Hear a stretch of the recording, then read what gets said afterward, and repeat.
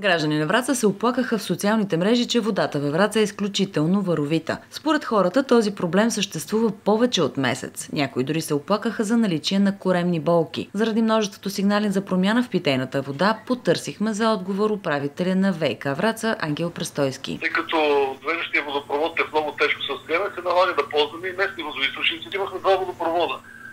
Трябваше да почне да се строи, знаете, довеждащия общината трябваше да почне да го строи преди 5 години. Сега, сега в момента почне, слава Богу. И ние сме само с един водопровод Среченска бар.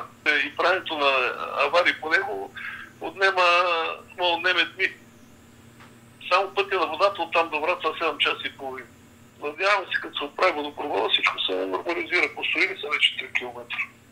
И върват към Враца нас ни следят всеки ежедневно ред взима проби и ние взимаме проби. Всичко е нормално. Значи, щом отговаря на българския държавен стандарт, е питейно липсва вода.